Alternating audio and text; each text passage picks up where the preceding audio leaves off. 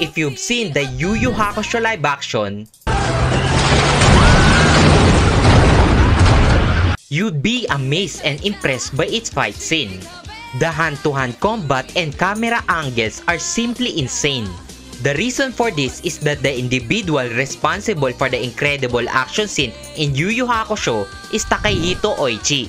He's an action director and he is also responsible for the incredible fights in the Rurouni Kenshin live action.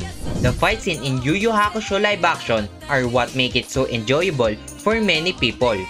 And based from what I've seen, I believe he will be a great action director for the upcoming Naruto live action.